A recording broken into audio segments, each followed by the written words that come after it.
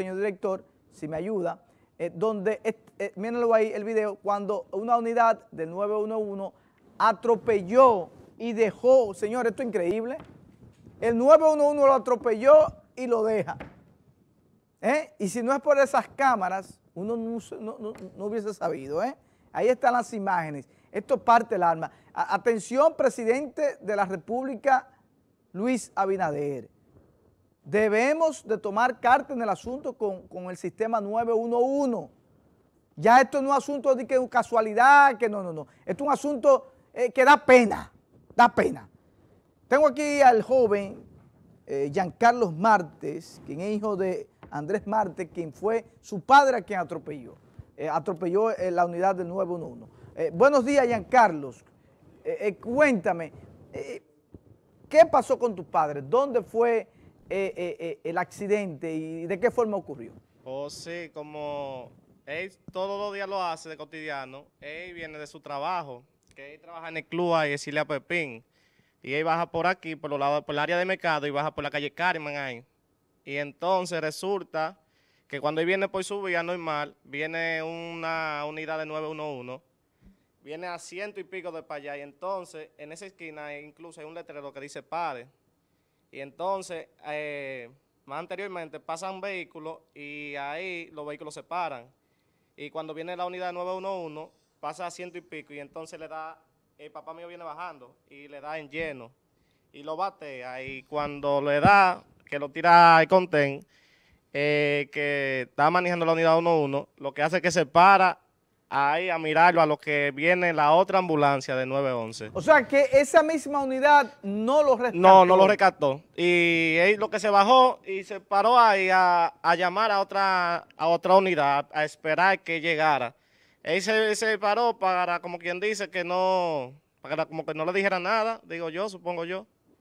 Y imagínese. Y lo, dejó tirado ahí. ¿En qué condición está tu padre y dónde está eh, hospitalizado? Eh, mi padre está ahí en, eh, en el hospital. En el hospital San Vicente de Paul. Está crítico, crítico. ¿Qué, qué, qué, qué le ocurrió? ¿Qué tiene? Pues sí, él, los golpes fueron en la cabeza, y ahí lo tienen entubado, ahí lo tratan de mantenerlo estable porque está grave, grave. ¿Y, qué edad tiene tu padre? El padre mío cumplió 53 años el lunes cumplió. Wow. Sí, venía ya de su trabajo, como él cumplía el otro día, ya él venía temprano, ya a las 9 y 42. Y, y, una pregunta, tú me dijiste fuera del aire que tú fuiste a la oficina del 911. Fui, fui a la oficina de, uno, de 911 y lo que me dijeron como que le enviara el video como para ver qué ellos hacían. Y yo le tiro y le tiro por WhatsApp y no me dicen nada, no me dan ninguna respuesta. Y yo le dije que te iba a salir el aire porque si no me dan ninguna respuesta ni nada, ¿qué tengo que hacer? Yo venía aquí a reclamar, claro. Entonces, miren, yo le voy a hacer un llamado, atención la gobernadora, atención el alcalde, atención el senador Franklin Romero, diputado. Ustedes tienen que ponérsele fuerte en la provincia de Duarte porque si no, el 911 va a seguir en vez de hacer bien, lo que va a hacer el mal.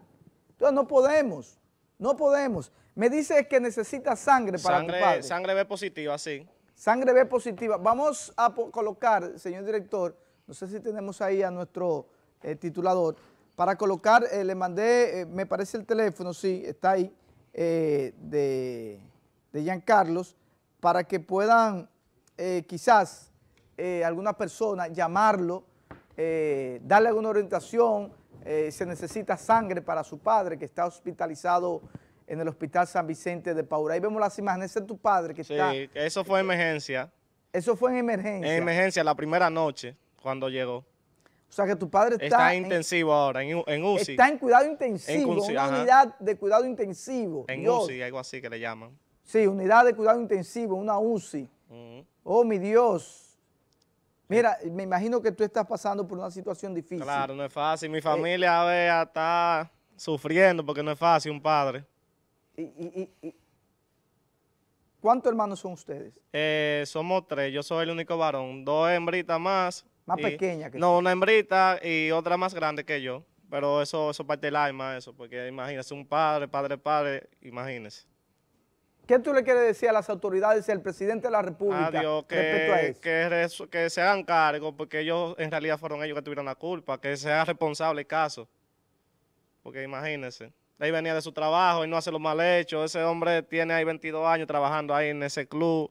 Todo el mundo lo conoce como hombre de bien y, mira como lo, lo, que le hacen.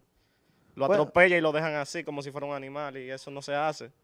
Andrés Marte Herrera. Andrés Marte Herrera, sí, claro, es muy conocido y todo el mundo lo conoce. Bueno, eh, gracias Giancarlo por sacar eh, un poco de, valor y, denunciar esto. Claro, esto vamos a seguir, vamos a subirlo a nuestra plataforma. Eh, el sábado yo voy a hacer un comentario fuertemente en el gobierno de, los sábados de la Z101 y en nuestra plataforma también lo vamos a hacer porque esto es una irresponsabilidad del 911. Ojalá que algún representante eh, nos llame, eh, ahí están los teléfonos del estudio, 809-725-0505, que nos llamen y nos den eh, qué es lo que está pasando con el 911, principalmente en la provincia de Duarte. ¿Algo más, Giancarlo? Pues sí, que como hoy fue él, mañana puede ser cualquiera de nosotros que andamos en la calle y esa gente anda como, como perro en la calle, como así. No, y la irresponsabilidad porque ellos deben de, por lo menos, de, que su seguro cubra los gastos de estar ahí presente, darle seguimiento, porque... Dale, darle seguimiento, así mismo. Dios, el 911 es para emergencia y miren esta situación, así no podemos hacer parte. Incluso, en, un segundito, ellos le dieron eh, cuando la ambulancia llegó, eh, yo había una, gente por ahí, me dijeron que ellos lo subieron con todo y cuando llegó allá al hospital, la cartera no tenía nada de dinero, porque él trajo un negocio y todos los días lleva el dinero a la casa y la cartera no tenía ni dinero, ni tarjeta de crédito, eso se lo sacaron todo y supuestamente fue de la ambulancia allá al hospital que le sacaron el dinero, porque ahí tengo testigos que iban por ahí cerca, que ahí lo montaron ahí mismo cuando llegó la ambulancia, después de caso, después que sucedió eso, y le sacaron todo. Bueno, miren, esto hay que investigarlo. Atención a las autoridades de San Francisco de Macorís, esto hay que investigarlo. Atención el, director provincial de salud pública, el doctor Nelson Socias, y todas las autoridades que tienen que ver eh, en la provincia de Duarte para que se acerquen a las personas del 911, al encargado de aquí o, directamente al general encargado del 911, porque esto no puede estar sucediendo.